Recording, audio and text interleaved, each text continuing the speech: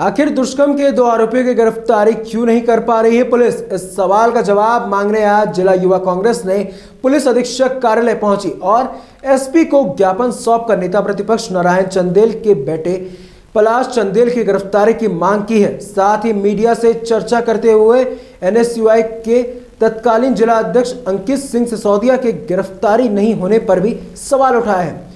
और आरोपियों की जल्द गिरफ्तारी नहीं होने पर आंदोलन की चेतावनी दी है।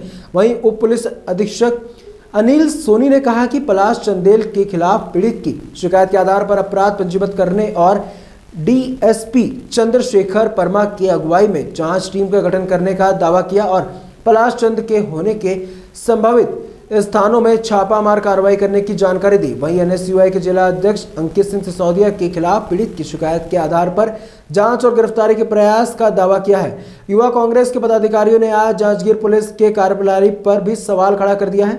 युवा कांग्रेस के उपाध्यक्ष ने नेता प्रतिपक्ष के पुत्र की गिरफ्तारी नहीं होने पुलिस को आड़े हाथों लिया है। Bureau report.